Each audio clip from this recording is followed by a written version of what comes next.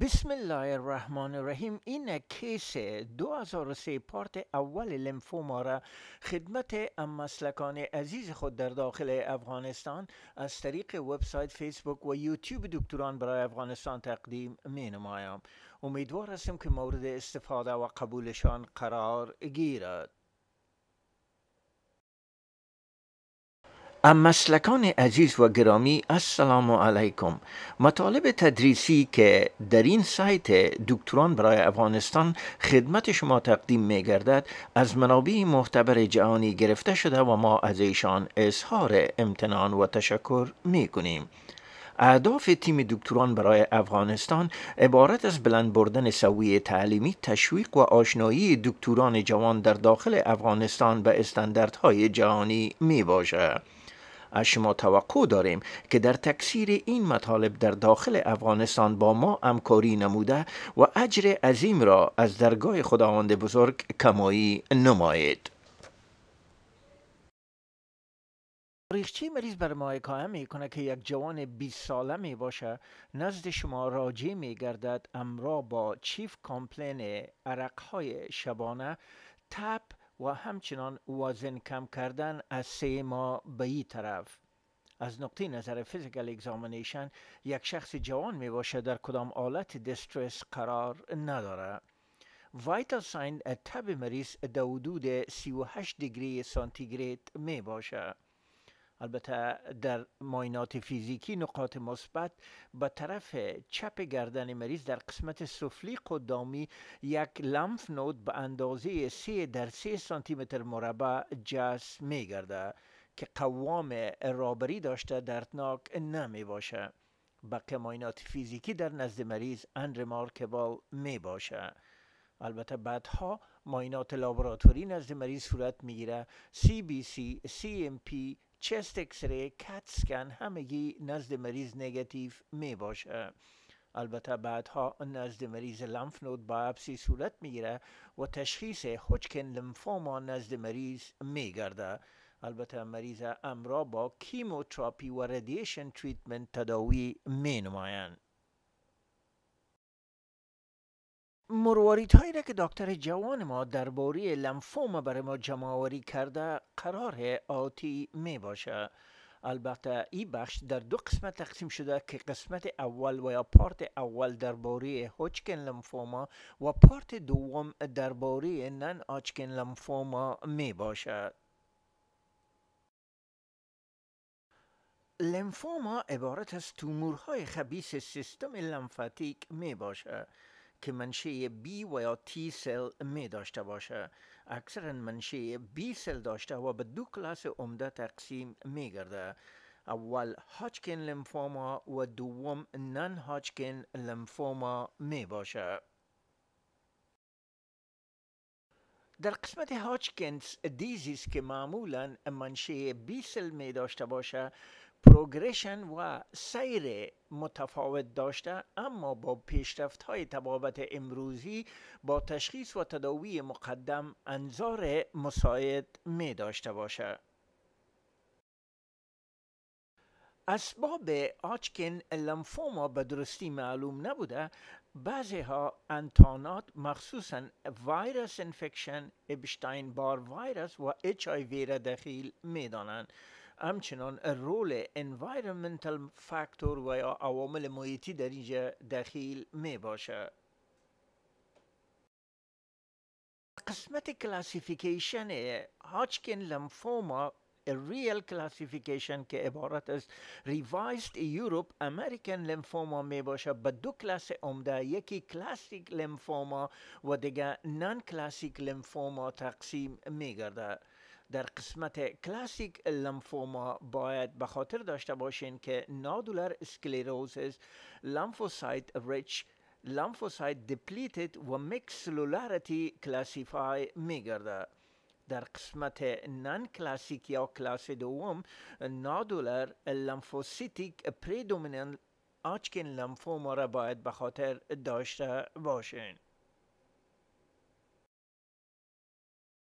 از نقطه نظر سریریات باید به خاطر داشته باشین که Hodgkin lymphoma دیستریبیوشنش از نظر سن معمولا بای مودل یعنی بیشتر در دهه دوم و سوم و همچنان بیشتر در دهه پنجم و بعد از او در نزد مریضا دیده میشه.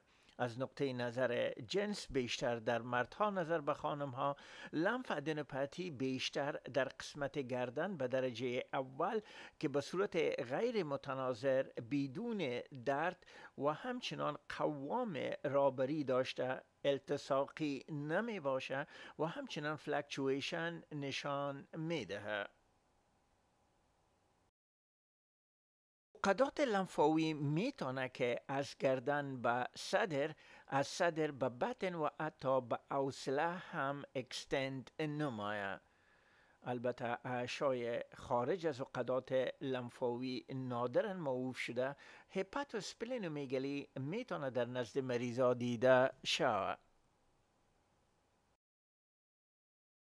constitutional symptom و یا B symptom شامل عرقهای شبانه تب بلند یعنی بالاتر از 38 degree سانتیگراد همچنان بیشتر از 10 فیصد وزن کم کردن در ظرف شش ماه گذشته می باشه. تبهای مریضا می‌تونه به صورت cyclical که به نام Pel-Ebstein fever هم یاد میگرده همچنان باید به خاطر داشته باشین عقدات لمفاوی که مأوف میگرده همراه با نوشیدن مشروبات الکلی دردناک می باشه همچنان این مریض ها خاصف و همچنان خارش های جلدی در نزدشان دیده شده می‌تانه.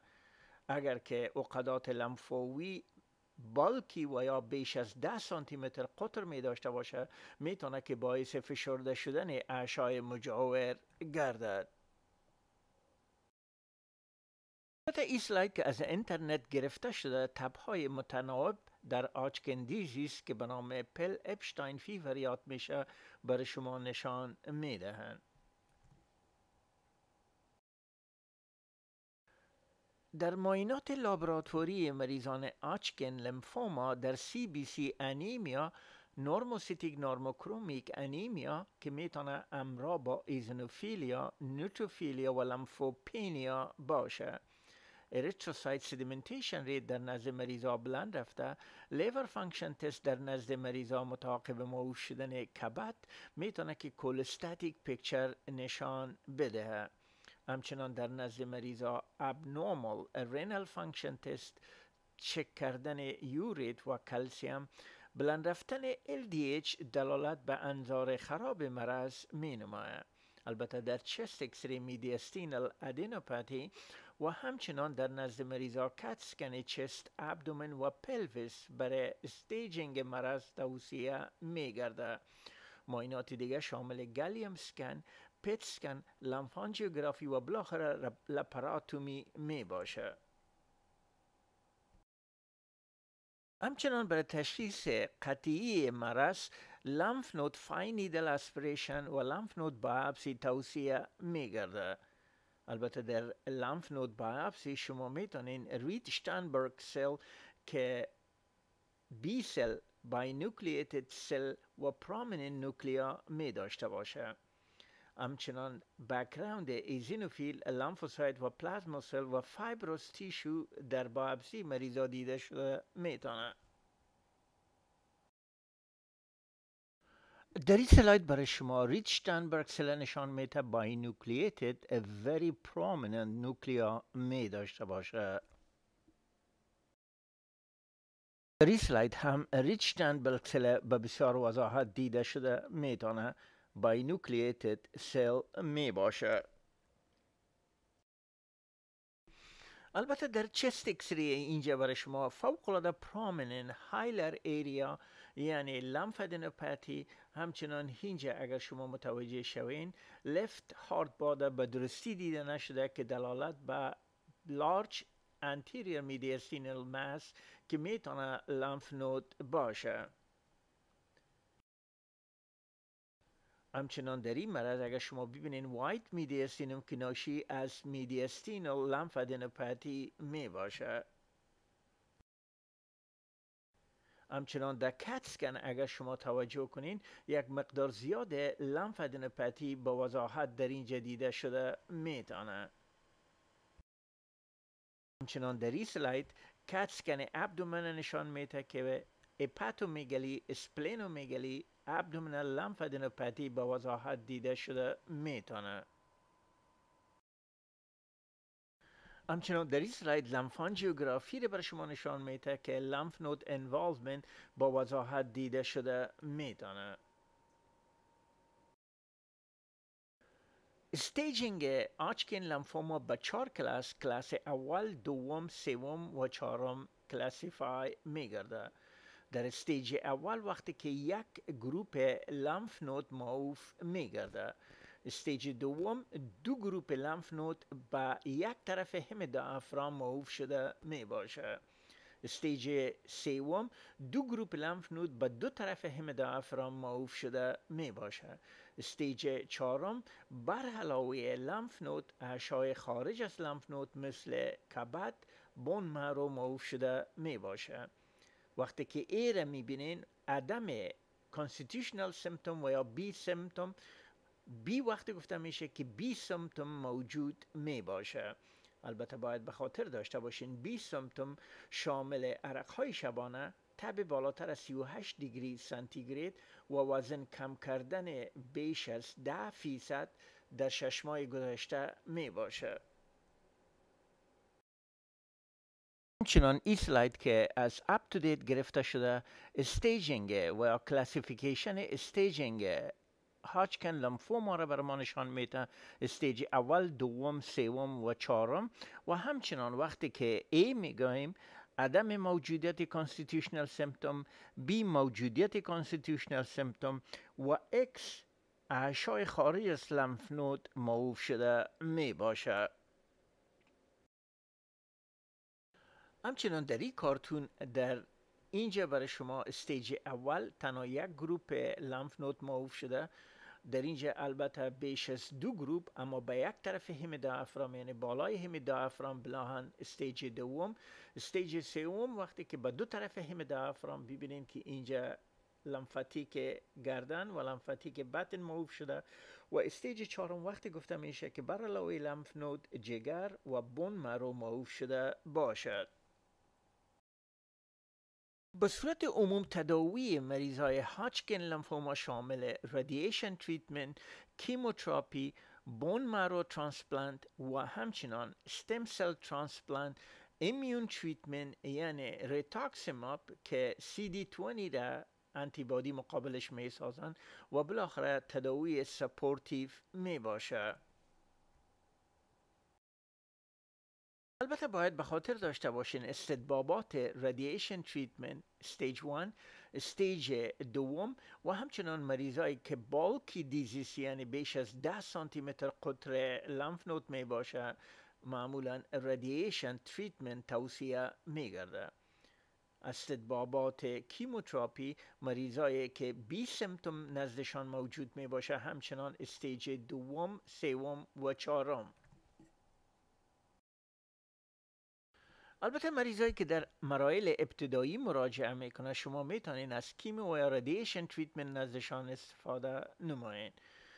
البته مریضایی که اعراض و علائم constitutional و یا B symptom می داشته باشند همچنان stage سوم و چهارم از combination chemotherapy plus radiation treatment استفاده می گرده البته باید به خاطر داشته باشین که chemotherapy در نزد از این مریضا هر سه تا چهار هفته برای 6 تا 8 cycle می باشه در این سلاید برای شما radiation treatment for Hodgkin lymphoma radiation field برای گروپ های مختلفی lymphatic system نشان می‌دهند. از نقطه نظر chemotherapy معمولا دو گروپ یکی عبارت از MOPP و دیگه عبارت از ABVD می باشه. البته باید به خاطر داشته باشین ABVD امروز نظر به MOPP ترجیح داده میشه. یعنی less toxic و یا عوارض جانبیش نظر به MOPP کمتر می باشه. ABVD شامل Adriamycin، bleomycin، vinblastine و dacarbazine می باشه. MOPP شامل nitrogen mustard، vincristine، procarbazine و prednisone می باشه. در قسمت انذار از این مریضا با تشخیص و تداوی مقدم این مریضا ده سال survival شان در حدود 80 فیصد می باشه اما باید به خاطر داشته باشین مریضایی که long term survive می‌کنن این مریضا معمولا ریسک برای non-Hodgkin lymphoma leukemia همچنان برای تومورهای ششها و breast infection cardiac pulmonary endocrine abnormality هم در نزد از این مریضا دیده شده میتانه. همچنان در قسمت پروگنوز و انذار این مریضا IPI که عبارت از International Prognostic Index می باشه شامل عمر مریضا که بالاتر از 45 باشه Advanced Stage of Disease performance status بلند بودن LDH و همچنان extranodal involvement همگی دلالت به poor prognosis می نماید.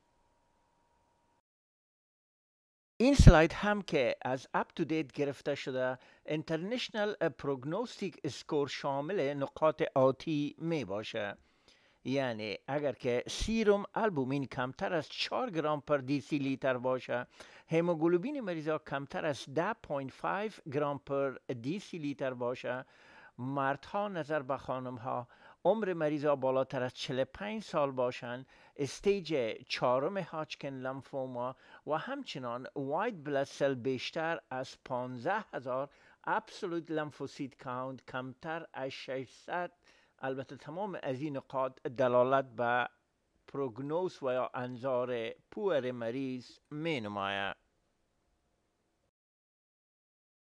البته در ختم از این case کوتاه و دلچسب از تمام مسلکیان در داخل افغانستان که این case را امرای ما تعقیب می‌کنن اظهار امتنان و تشکر می‌کنیم. باید خاطر نشان کنیم که در این case یک تعداد زیاد نقاط تدریسی و های در قسمت history physical examination معاینات لابراتواری اکسری و تشخیص تفریقی و تداوی مریضا وجود داره که البته با استفاده از این نقاط شما می‌تونین حیات یک تعداد زیاد مریضای مردم شریف افغانستان نجات بتین بناءً شریک ساختن این case ها بین تمام professional طبی اجر عظیم داشته و وجیبه هر افغان شریف می باشه البته یک نقطه دیگر هم خدمت شما عرض می کنم که ما این case ها را در یک مدت بسیار کم به سرعت زیاد می خواهیم ثبت کنیم و همچنان داخل اینترنت بسازیم. بناءً یک سلسله اشتباهات تکنیکی ترجموی افادوی و spelling در اینجا وجود داره ما یقینی کامل داریم با بزرگواری که دارین این اشتباهات ما را عفو می تیم دکتران برای افغانستان افتخار دارند که در پهلوی شریک ساختن موضوعات تعلیمی جدید با نسل جوان در وطن بایوگرافی پیشگامان تبابت در افغانستان را به معرفی می‌گیرند. ما از فامیل ها و نزدیکان این قهرمانان اصیل افغان خواهشمندیم که سوانی ام قطاران این بزرگان را با ما شریک سازند. تا های بعدی از این افتخارات آگاه گردند